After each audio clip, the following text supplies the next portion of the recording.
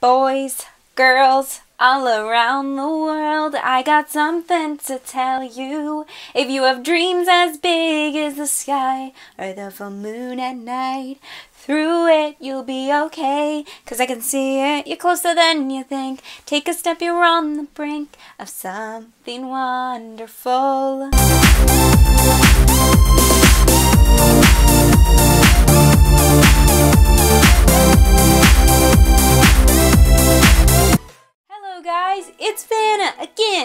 This week with another video. And you're tuning in, thank you, my leg itches.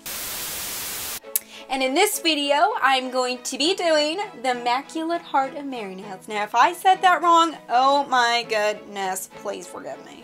So yeah, I got one of another one of these nail tutorials this week, but I was thinking maybe next week I could do like a YouTuber um, related video, like, you know, tricks or something, you know? Comment down below if you want to see that. You might just see it anyways. So anyways, let's get to the nail story that I'm really excited about. Let's go! We'll go that way. Hmm. Go that way instead of that way. We always go that way, apparently. Well, let's go this way. I've already painted my ring finger white and the rest of my nails this beautiful kind of bluish turquoise color, and it's really pretty. Okay, I'm going to take the strengthening top coat, I'm going to put it towards the cuticle, and I'm going to take my color pencil, and I'm going to take these blue kind of turquoise matching rhinestones, and I'm going to place them on top of the wet top coat. Okay, last one. There we go. And now I'm just going to kind of move them around, just place them perfectly. And uh, it kind of looks like ground, doesn't it? And I'm going to do this on all of my uh, other nails, all my other turquoise nails. And I think I'm going to put three on the, my pinky, three rhinestones. And these rhinestones, they just get, do you see that one jump? They just get away from me sometimes. They're just, they just fly everywhere sometimes. Okay, that one's done. And I'm going to put a quick dry top coat on it just to smooth things out.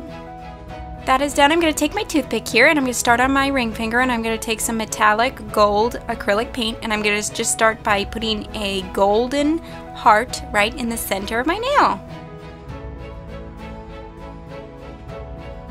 Now that I've gotten my heart down, I'm going to take some orange acrylic paint and I'm just going to kind of write the flames coming out from the top of it. So basically the lines are just pointed upward.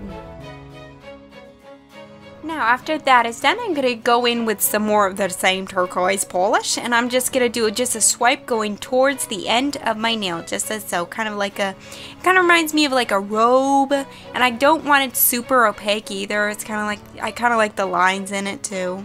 And there we go, that nail is all done. And I also put the exact same thing on my thumb in case you were wondering.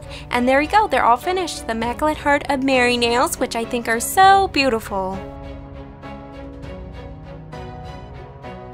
That design is in the books. Uh, there we go, that design is done. I love this design because I just love uh, the Immaculate Heart and everything. The little bling bling. It's nails fit for a queen, if you get me. If you're Catholic, you get me. Anyways, so thank you guys so much for watching. If you want to see any of my other nail tutorials, you can click something up this direction. If you're wondering why it's kind of focused on more of my face, I wanted to show off my bun. I'm very proud of it for some reason. So... Subscribe down below if you want to, but only if you want to. Give it a like, slap that like button in its face if you like this video. And question, guys, do you think I should, I kind of want to do a video next week of uh, me doing like YouTube tips. Like I got some tips that I kind of want to share. Should I do that video? Please comment down below. Thank you guys so much for watching. You know, I have this like oh, I found this old piece of gum in my drawer, and I think it's peppermint. It's peppermint. Um, I wonder how it tastes. I wonder how old it is.